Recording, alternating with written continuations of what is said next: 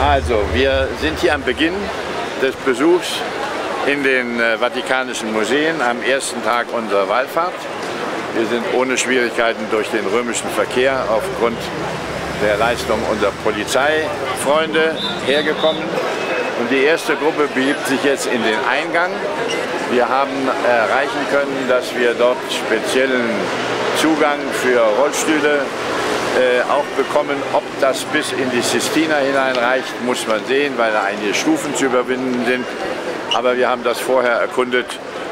Zwischendrin wird es heute an einem der besonders besuchten Tage äh, der Museen sicher zu Staus kommen, aber darauf sind wir eingestellt und äh, freuen uns jetzt auf einen schönen Besuch.